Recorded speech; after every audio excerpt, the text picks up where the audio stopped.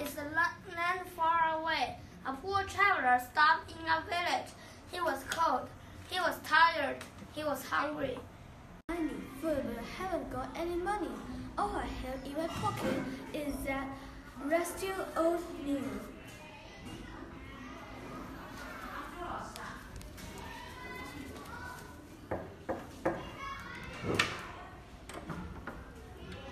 What do you want? Please, old woman, I'm cold and tired and hungry. What do you want me to do? May I sleep on your floor for the night? No, go away. I don't like strangers. Please, old woman, listen to me. We should I listen to you. You are full. Go away.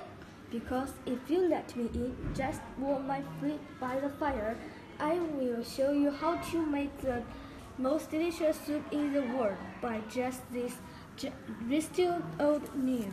Don't don't talk such rubbish. How do I know you are not not lying? I, I may be poor, but I am an honest man.